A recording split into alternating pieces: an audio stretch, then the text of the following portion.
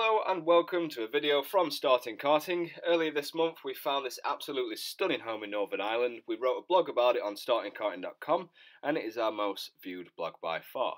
So I thought I'd do a small video for all you race fans out there dreaming of buying your own home one day with your very own kart track in the back garden. So first of all, we found this home on stanleybestestate.com. I'll post a link below, and as long as the home is still available on the market, then I'm sure the link will still work.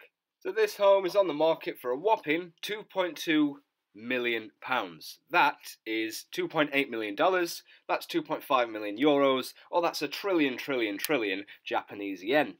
It has 28 acres of carefully maintained grounds, an indoor swimming pool, a hot tub, a helipad, and of course, that one kilometre kart track.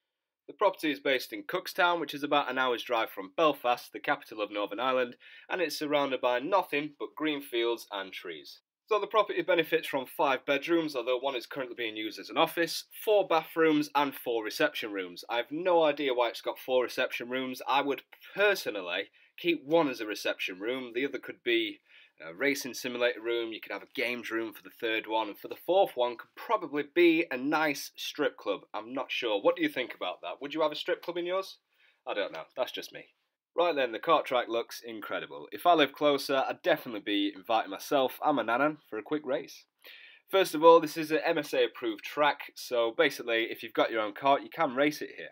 The track has excellent facilities such as a race control office, workshops, garages, a kids' play area, a parking area, suit room, briefing room, kitchen, and a separate smaller track too. Now it's my understanding that even though the kart track and the house is for sale together, it's up to the new owners whether to keep the track open to the public or to keep it exclusively for themselves. I do hope the new owners won't be greedy, but the track is a bit of a money spinner anyway, so I doubt this will happen.